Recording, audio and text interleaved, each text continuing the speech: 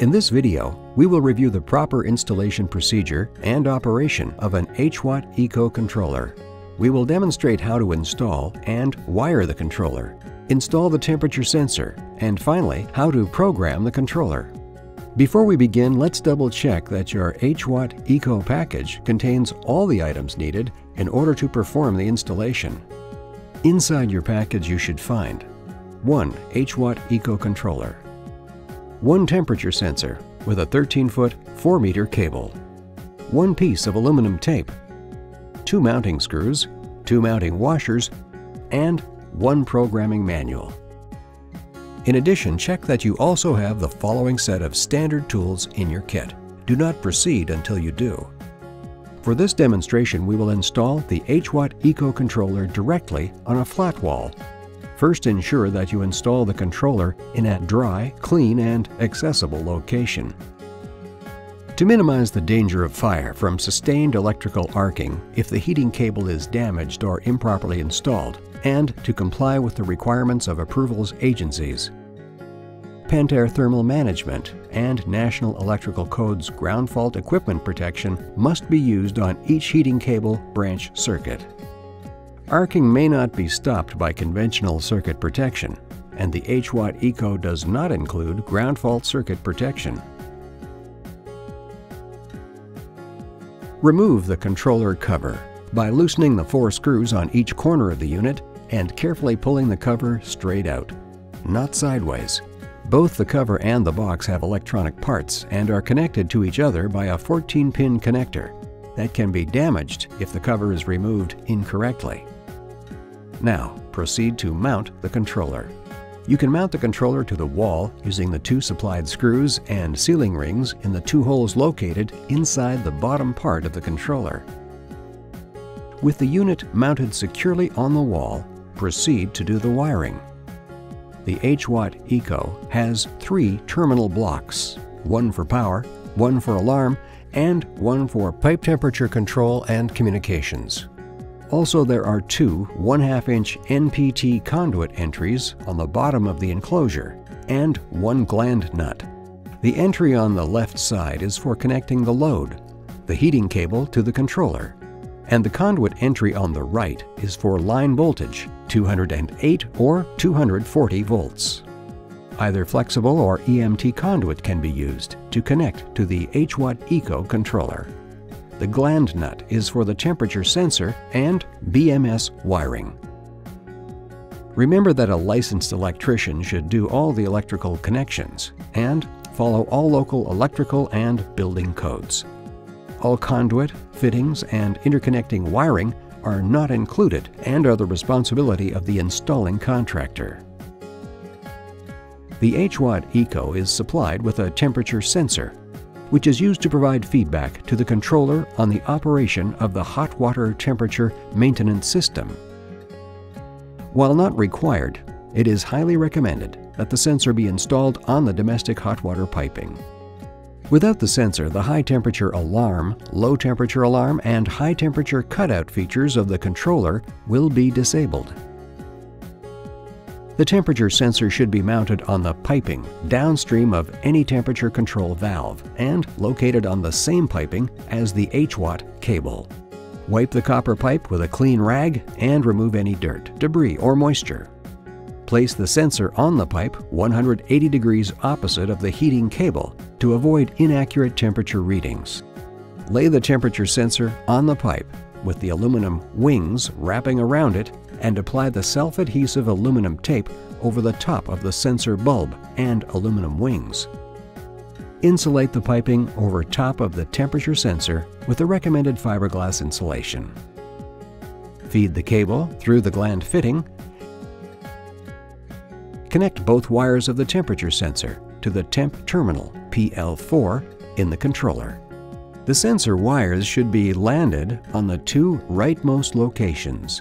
To connect the wires to the terminal block, use the screwdriver and push down the orange tabs on the side of the terminal. Finally, tighten the gland nut. Make the remaining connections into the terminal blocks for power and for alarm and close the controller by placing back the front cover. Again, being careful to not damage the controller pins during reassembly. Put the screws in place and tighten.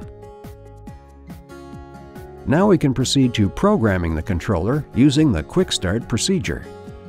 If you wish to program the controller using the advanced menu options, refer to the HWAT Eco installation manual provided with the unit, or visit Pentair's website pentairthermal.com to download a copy.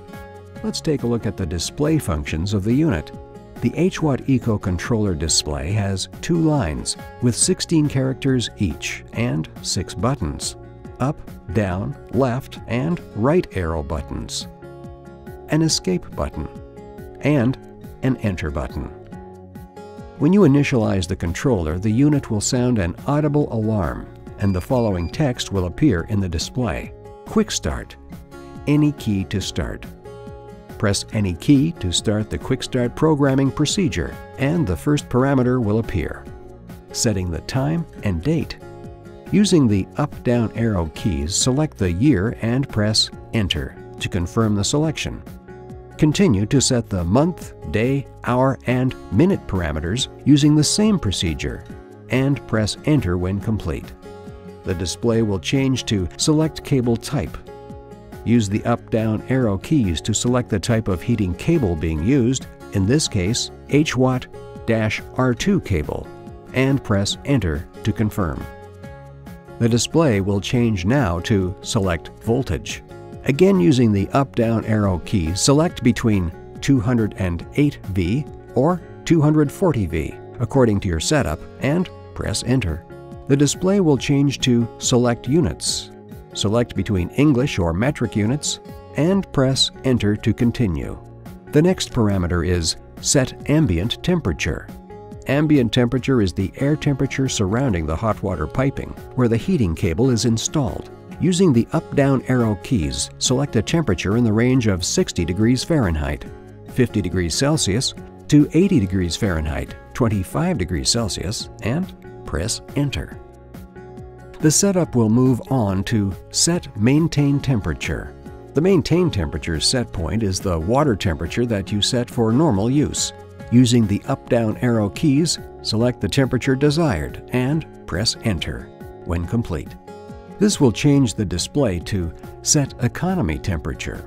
The economy temperature set point is the water temperature for periods during which hot water is not usually used, for example at night or during a peak period when a lot of hot water is being used.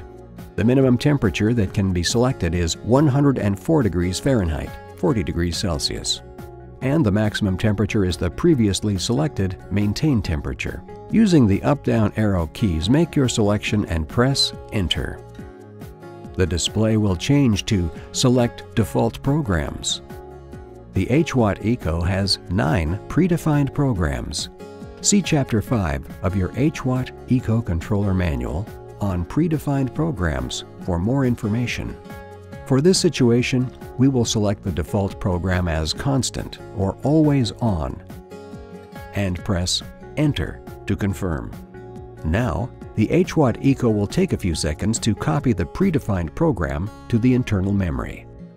During this time, it will show the text Busy in the display window. And once the program is copied into the memory, it will change to Completing Initialization. Simply press Enter and the controller will start control of the HWAT system.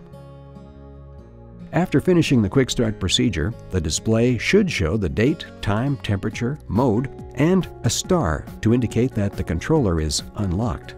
Once initialized, power the controller and leave it to charge the internal battery for at least 6 hours.